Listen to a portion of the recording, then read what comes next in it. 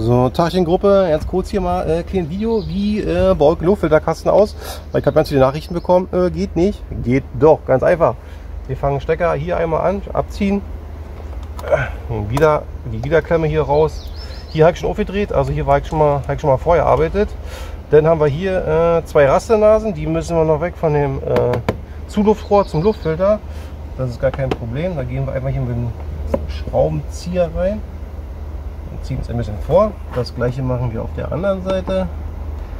Da passiert auch nichts, geht auch nichts kaputt. Ist ein bisschen störrisch immer. So, haben wir. Jetzt hier ein bisschen Spannung halten, dass es nicht gleich wieder reinflutscht. Und dann das Ganze mal mit viel Gefühl nach oben holen. So, wartet. So, da ist er draußen. Jetzt hängt er hier noch. Und das war's auch schon. Flutschi, flutschi hier. Und draußen ist er. Und guck mal hier rum. Hast du einen Stopp gemacht?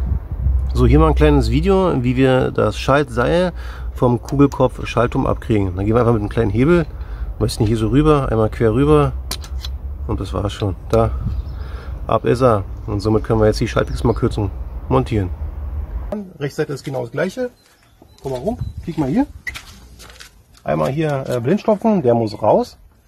Ist eigentlich voll easy. So, weg ist er. Dann sehen wir da eine Sechskantschraube, ein Stehbolzen. Wir brauchen dafür 5 mm Aufsatz. Nehmen wir hier rein. So, jetzt schickt mal kurz auf. Achtung, Arschenweg. So, jetzt wichtig, Türgriff ziehen. Wir ziehen am Türgriff. Ich habe noch nicht geschraubt. Jetzt schraube ich. Wir lösen nach links, ganz normal. Und ich übe hier ein wenig Druck aus. So, jetzt ist er schon raus. Zack. So, jetzt entnehmen wir den Türgriff. Der ist geführt. Aufpassen. Hier ist eine Führung.